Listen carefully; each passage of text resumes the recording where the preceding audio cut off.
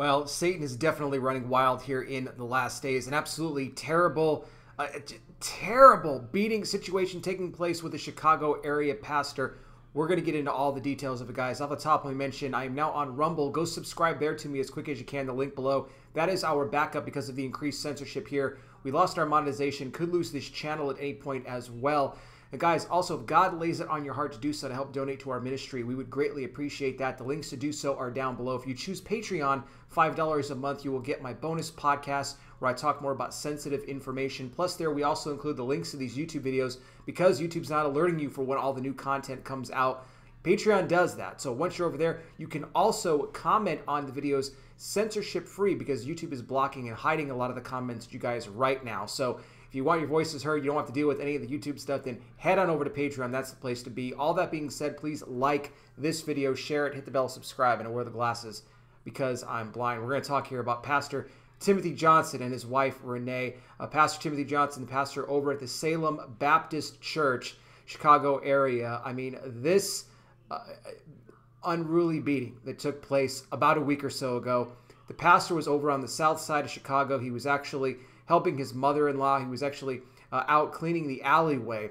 And according to the report, apparently a man had approached the pastor and tried to sell him something. Now, they're not saying exactly what that was, but I think you and I can both guess what it was he was trying to sell him. The pastor told him repeatedly, several times, this is according to members of his own family, uh, his siblings, said no. He was no, thank you, I'm good. He was, you know, cleaning the alley. He was, you know, doing his thing there.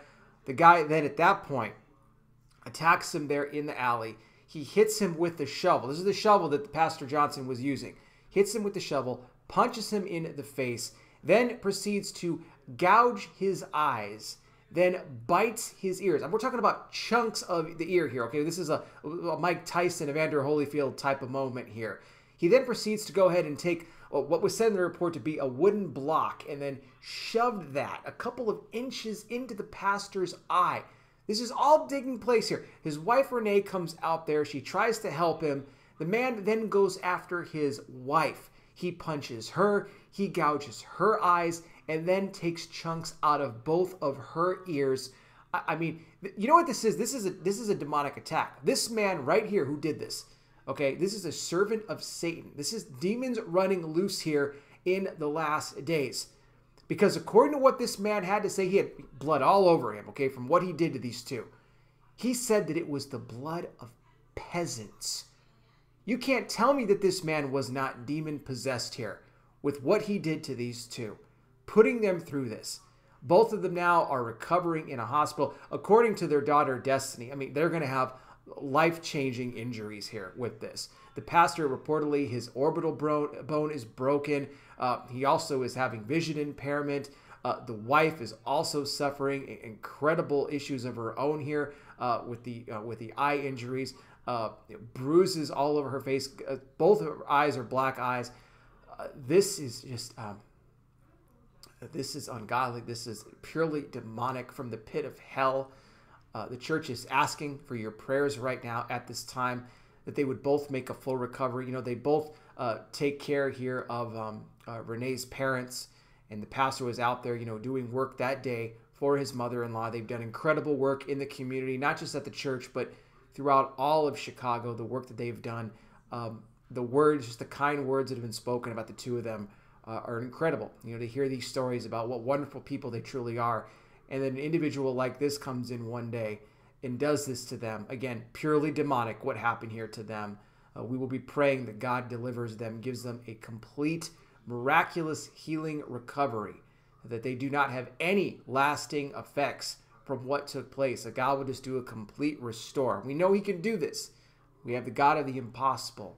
And our prayers going out to everybody there at the Salem Baptist Church as well. And it shows you where we are right now in society, ladies and gentlemen, when uh, these types of incidents are taking place and, and they're being reported on now more and more as Satan is doing everything he can here in the last hour to take the church out. But as part of our ministry, we are trying to get the news, the good news of Jesus Christ out there to as many people as possible. So if you're watching this right now, if you've never received Jesus as your Lord and Savior, this is your opportunity. You start first by acknowledging that you're a sinner. We all are. But God sent his son Jesus Christ to die on the cross for the sins of all the world. He died and rose again for you and me. Now, what you need to do is repent of that sin. Repent means to turn from your sin, not just to say you're sorry, but to actually turn from a lifestyle, a habit, whatever it is in your life that's counter to what the Word of God says. You ask Jesus to forgive you, He will wipe that sin away. The Bible says He won't even remember it anymore. And then you ask Jesus into your life to be your Lord and Savior. When you do that, you become born again, a child of God. You will have eternal life. And trust me when I tell you, there is no greater decision you will ever make than the one you make to give your life to Christ.